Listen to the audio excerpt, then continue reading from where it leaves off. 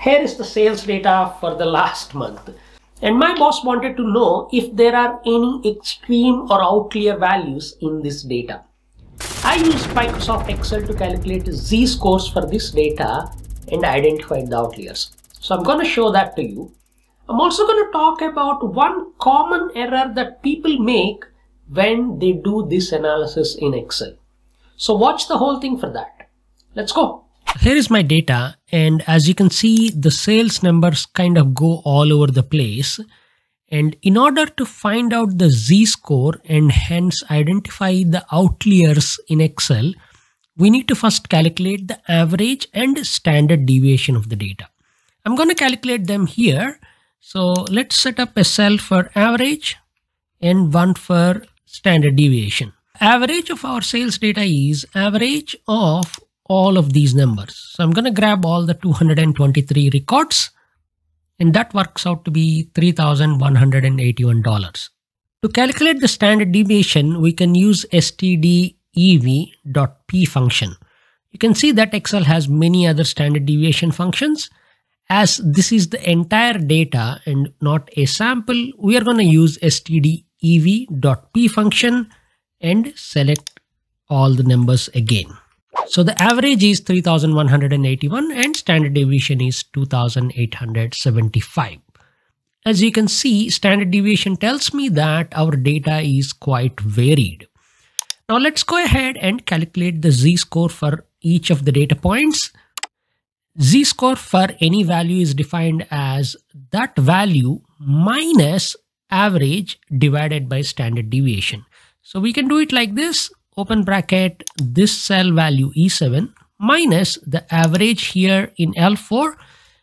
I'm going to make it absolute, divide that with the standard deviation L5. Once that formula is entered in one cell, you can just drag this down or click in the corner here to fill the z-scores down for the entire data set.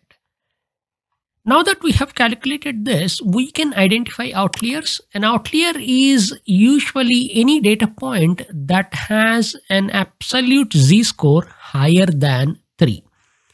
So here you can see that many data points have 2.18 here, which means this data point is 2.18 standard deviations away from the average sale value. So average is 3,181 and this number 9456 is 2.18 times away from the average in standard deviations.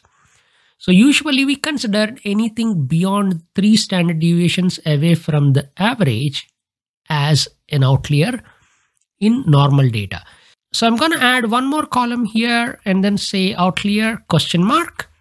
And here we can simply say if absolute value of my z-score is greater than 3, yes, else no.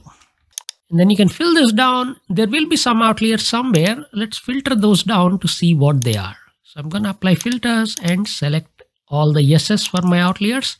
And we can see that there are four records where the numbers are quite large to be honest. And they have very high z-score. So here drinking cocoa, $21,000 and it is 6.36 z-score, definitely an outlier. But this way of identifying outliers is not perfect. As we can have different sales for each product, identifying an outlier within all the sales of drinking cocoa would be a better option. By that what I mean is, let's clear out this and filter down for one of the products. So we have got all these records for drinking cocoa and you can see that this is how those values are. If I can identify what is an outlier within the drinking cocoa values itself, then it will be more meaningful. And we can do that quite easily with Excel formulas. Talking about all these outliers reminds me that just 3 out of every 100 people who watch my videos hit the like button. So that makes those of you who hit the like button an outlier or a really special person. So I want you to become that special person. Hit that like button and if you have not already subscribed to the channel, consider subscribing for more awesome videos like this. Now let's understand how to make z-score keeping the product in consideration. I'm going to insert a few more columns here just to make space for that. And in the first column, I want to calculate average of product. This is average ifs of my sales value where my product value is in cell C7. And I'm going to select all of these bits, hit F4 to make them all absolute reference. We're going to keep C7 relative. So when you drag this formula down, it will change the product name and then you'll get different averages. So you can see that, for example, after nines, the average is 1907, whereas almond choco is 3431. Let's fill this down. And then we want to do the same for standard deviation of product. Now, unlike average ifs in Excel, we don't have a standard deviation ifs function. We only have standard deviation. So we are going to use standard deviation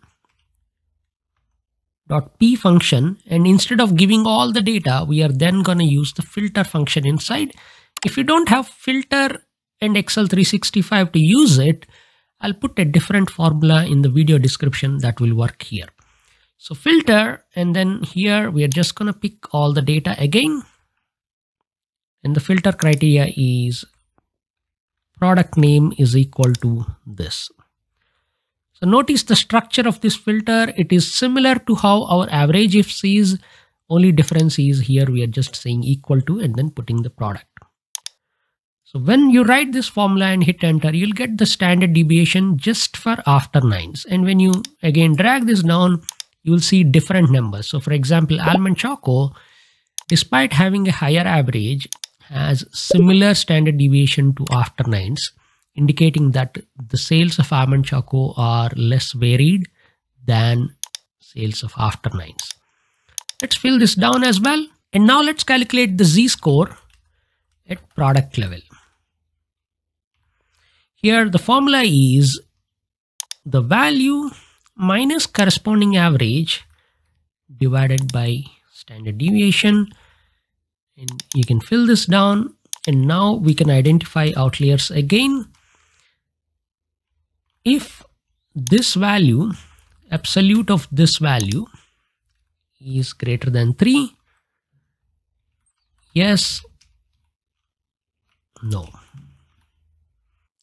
and now let's see what are the outliers according to this new definition. So we are now finding a different set of numbers.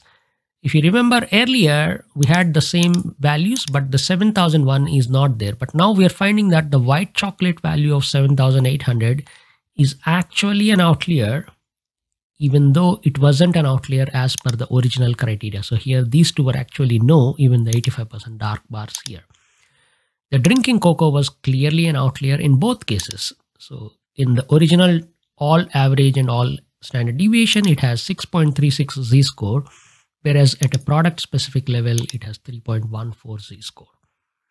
Let's put a cherry on top of all of this. We can select all of this data and then use conditional formatting to highlight the rows or the records that have these outliers. So once you select that, you can go to conditional formatting create a new rule. And this rule is we're going to use a formula. And the formula would be you can just look into the outlier column. Or let's just say you don't have that and you only have z-score column you can also write the rule there. I'm going to use the z-score column to write the rule. So here the rule is equal to absolute of and then select the z-score column value. Here in my data it is in j7 I'm going to change the nature of this reference by hitting the F4 key a couple of times to $J7. It locks the column to J but keeps the row number relative. So every row it checks the corresponding column J value. So absolute of $J7 greater than 3. So that is my condition. And then I want to format this in a bright color like this and uh, change the font color to white and make it bold. Once you click OK, any outliers in your data will be immediately highlighted in a really striking font and color like this. So we can immediately spot those values.